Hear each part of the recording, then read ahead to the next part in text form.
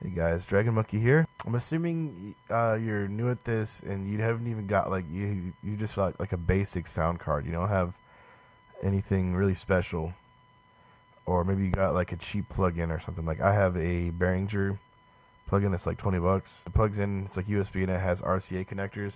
So then you can just plug in the RCA connectors into your mixer, which is what I'm doing right now. So I recommend going to ASIOforall.com and downloading whatever language version you need of ASIO for all. This is amazing. Uh, I have it right now. Like, see this little arrow right here? That's ASIO for all running right now because Cubase is up. Anyway, so install that. It's pretty straightforward. Uh, I started install on here, so I don't really want to do that again. Anyway, so then you come back here, right? So you start Cubase back up. You go to Devices, Device Setup, and you go VST Audio System and then you go into the drag down drop down menu and you select ASIO for all.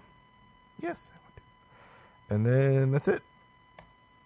You can go into here and you can ex- examine what's what in and outs you have available. These are all mine. I use ASIO for all because I have sometimes like I'm playing late at night and I don't want to wake anybody up, so I use my headset as my headphone or the output, so I can play quietly. So it's a great way to kind of like use different because I have like a sound card and I have a pair of see the Samson Studio GT. I have a set of monitor speakers that has an actual input on the speaker, and I use that for my guitar. That's it. I use the my Behringer input set into a Yamaha mixer to get my microphone and the loop sound you hear whenever you hear music in Cubase.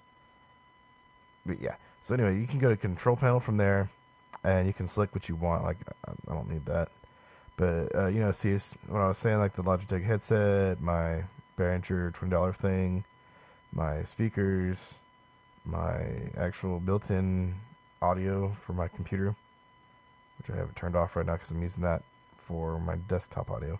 But anyway, so then you just hit OK and it sets it, and then you just go to uh, I press F4, but we're gonna go this way, connections, and then you set it up to how you want it to come out, like like I was saying, I wanted to just use my headphones. I would switch the the connections to my headset, and then I would switch it back to this when I'm regular, just wanting to hear it when I'm mixing out of my speakers. So what you would do is you'd set the outputs to where you want the sound to come out of, right? Okay, so then once you're done with that, you go to inputs, and then you do the same thing. Use the drop down menu and pick the inputs you want for like your guitar, microphone, whatever it varies compared. Um, so you you do that. So that's all set up, and then you can finally go to new project, add your MP3 or whatever, add an audio thing, and then this stereo in, which obviously won't work for me because I'm using the the device right now, but it would let you see like on the stereo out, it would let you select left or right based on your connections right here. Uh, and I hope I know that was kind of long. Five minutes. Oh, wow. I felt like it was longer than that. I hope that wasn't too long, guys. Hope that helped a little bit. So, what we went over was um, setting up the audio with device setup. I'll just kind of run through it again. Device setup, uh, setting the audio system to ASIO for all, unless you have a card that works with it. And, like, for me, I had the Behringer, so I could select Behringer, and that would be my input. But I use ASIO because, like I had said, you know, it's kind of lets me use all my stuff. But anyway, so then you come down here, make sure your in and outs are showing. You can go to control panel and turn them on or off, and it'll let you know if they're busy and you can't use them. Like this, for example, it's in use. See, it says in use by another application. Has a question mark, but it is in use. But anyway, so there, there you go. Um, you can mess with this stuff over here, but that's kind of um, I'll talk about that in the future another episode. This is just to kind of get you get up and going because it was frustrating for me. It took me hours to set this up for me to be able to even do anything.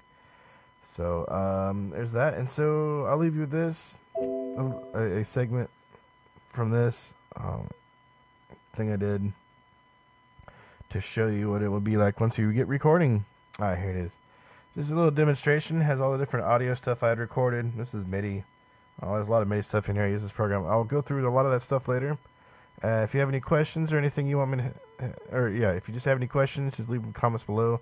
I'll be very, very happy to try to help you out with your problems because I, I want everyone to have a, a wonderful experience like I've had doing audio recordings and stuff.